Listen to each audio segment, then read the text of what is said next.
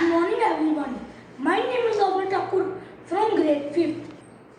Today I am going to draw a beautiful drawing on coronavirus. So let's start.